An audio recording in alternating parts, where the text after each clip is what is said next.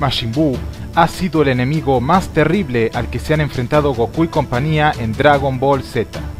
Dotado de la capacidad de regenerarse desde la más pequeña partícula y de absorber a sus oponentes asimilando sus poderes y habilidades, este personaje ha pasado por diferentes transformaciones y personalidades. ¿Te preguntaste alguna vez qué pasó por la mente del maestro Akira Toriyama cuando creó a este curioso ser?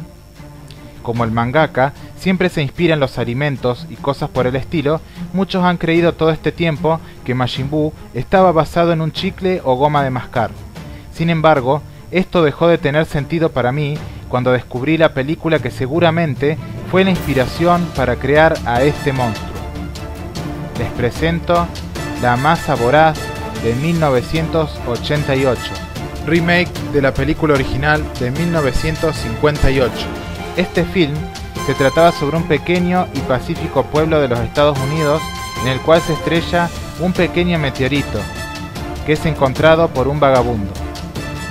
De su interior surge una pequeña masa viscosa que se adhiere a su mano y poco a poco comienza a absorberlo aumentando considerablemente de tamaño.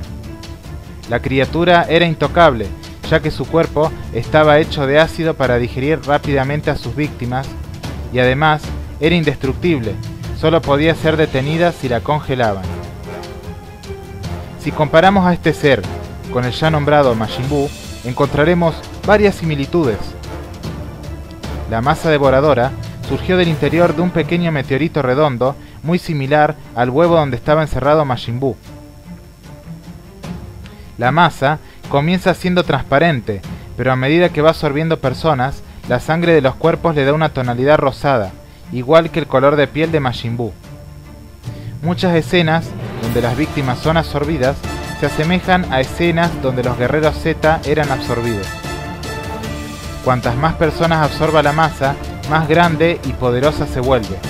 Lo mismo ocurría con Majin ya que cuantos más guerreros había en su interior, más poderoso se volvía. ¿Y tú qué opinas?